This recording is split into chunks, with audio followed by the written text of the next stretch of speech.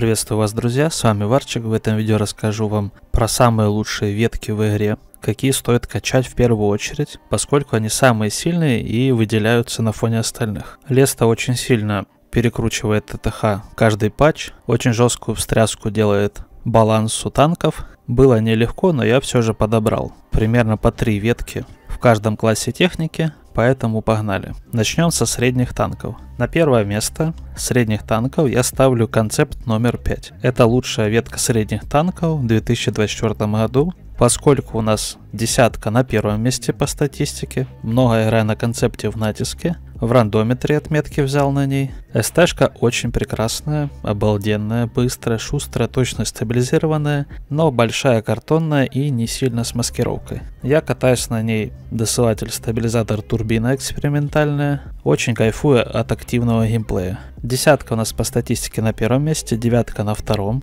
восьмерка в этой ветке на первом месте и семерка тоже на первом. Эта ветка будет нерфиться, понерфят десятку чуть-чуть, я думаю она сильно не упадет, после нерфа стоит все равно на ней играть дальше. Также еще неплохо понерфят семерку, она я думаю немножко спустится. Но это не суть важно, ветка все равно остается классной. На второе место, вторую ветку я ставлю Паттон. Паттон это больше такой тяжеподобный СТ, крупный, немного с броней, которая иногда то танкует, то нет. Неплохая пушка, но вот снаряд в середину прицела летит не так уж часто, как хотелось. Но танчик все равно цифры свои показывает. Я, конечно, не являюсь любителем этого танка, но цифры он набивает.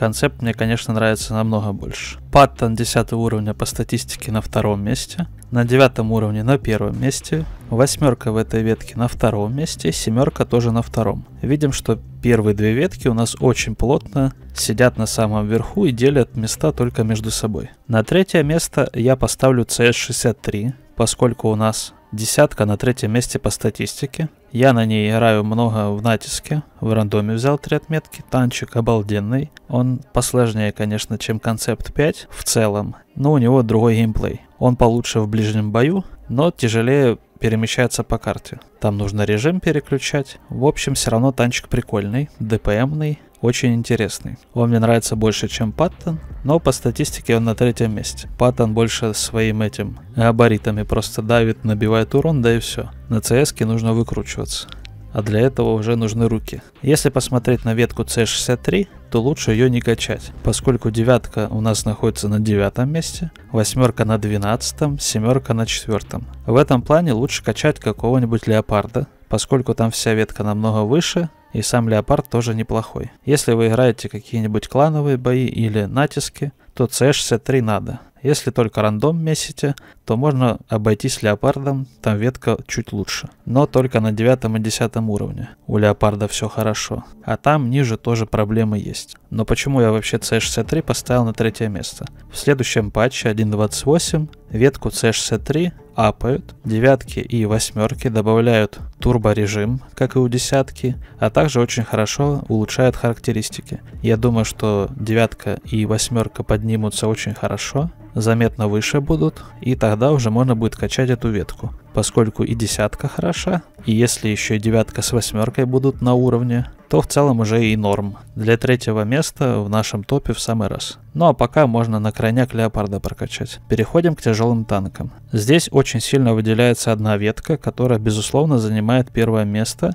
Ее нужно качать в первую очередь. Это ветка ВЗ-111-5А. Это очень сильный мощный танк. Неплохая скорость, хороший ДПМ, альфа, пробитие, особенно кумулятивами ставит этот танчик на первое место среди прокачиваемых. К тому же тут еще не только десятка на первом месте по статистике, также еще девятка на первом месте по статистике, восьмерка на первом месте. Недавно был турнир и все катались на восьмерке на 110 либо на Туртл МК-1, поскольку это были топ-2 танка, которые приносят опыт.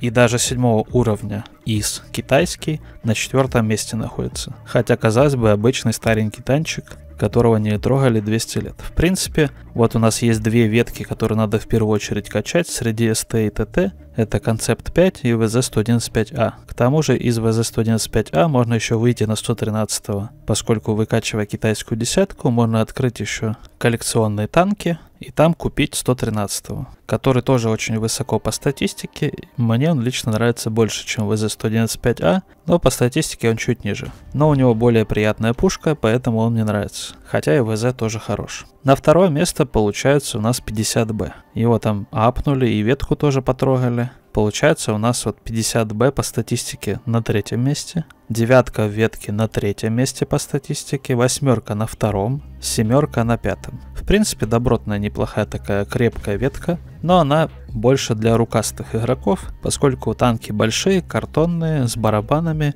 тут нужно уметь в такой геймплей. Всем подряд это качать не стоит. Мне 50Б нравится, ветку я качал еще до того, как ее апнули, принципе, на них можно было играть и так, но после апа, я думаю, вообще нормально. В принципе, если вы претендуете на игрока с руками, то я думаю, можно прокачать 50Б. На третье место я заочно ставлю Рина Черонте, который в патче 1.28 получит хороший сильный ап. Ему очень сильно улучшат перезарядку, а также добавят хп.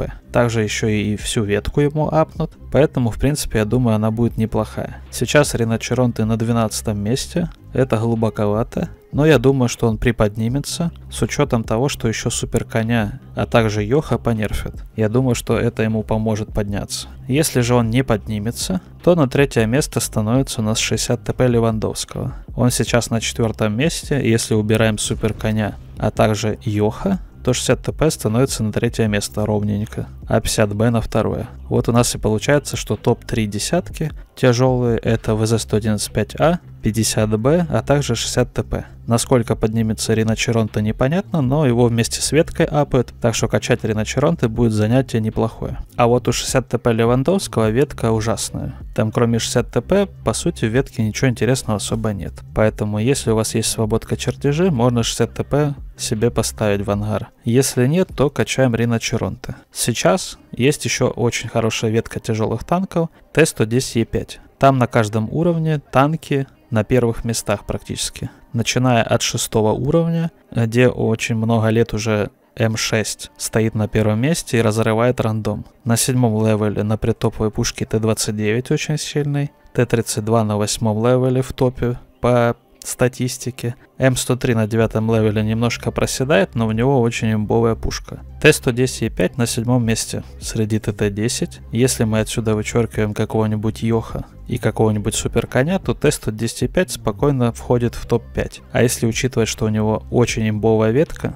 то что-то из этого стоит прокачать. Либо Рина Черонте, либо Т-110 Но в любом случае 60 ТП с плохой веткой смотрится чуть посолиднее, чем Рина Черонте и Т-110 В общем и целом, если мы выбираем ветки, то самая сильная ветка у Т-110 Потом будет у Рина Черонте. У 60 ТП похуже ветка, но он сам получше. В общем, думайте. Теперь переходим к ПТшкам. На самом деле у ПТ все сбалансировано на 10 левеле и прям сильно ничего не выделяется. По статистике самые лучшие ПТшки китайские. Но я бы не сказал, что они мне прям сильно нравятся, на них тяжеловато играть. В рандоме их практически не встретишь, но по цифрам они на первом месте. Я поиграл на них и на остальных ПТшках. У меня, в принципе, все ветки в игре прокачаны, я на всем, чем мог поиграть, поиграл. И лично на мой вкус я себе выделяю следующие ПТ. Т-110Е3, Т-110Е4 и Badger. Вот эти вот ПТшки мне на 10 левеле нравятся больше всего. Поскольку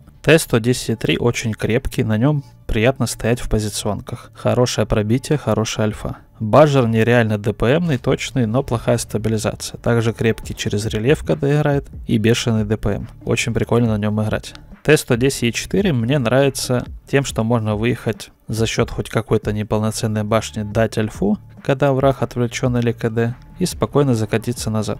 Если смотреть по статистике, то на первом месте у нас китайская ПТ. На втором месте Баджер, на третьем Т-110-3. Или наоборот, там на втором Т-110-3, на третьем Баджер, они там идут почти циферка в циферку, разницы никакой. Т-110-4 заметно глубже, но мне он очень сильно нравится, я на нем три отметки когда брал, кайфанул нереально. Так же, как и на Т-110-3, но они абсолютно разные по геймплею. А вот китайская ПТ мне немного не зашла, почему-то мне на ней было тяжелее. Там не хватает брони, как у Т-110Е3, либо не хватает башни, как у Т-110Е4, поэтому она мне не зашла. На ней играть сложнее. Вот у Badger а, допустим, есть и ДПМ, и крепкая рубка. У китайской ПТшки ни ДПМа, ни крепкой рубки, ни башни. Да, есть альфа, пробитие, какая-никакая скорость, но выставиться и прям реально в канавных коридорных картах от рельефа где-то что-то поиграть не получится, поскольку броня слабоватая. Тогда нужна башня, а ее нет. Вот и получается, что оно мне не зашло.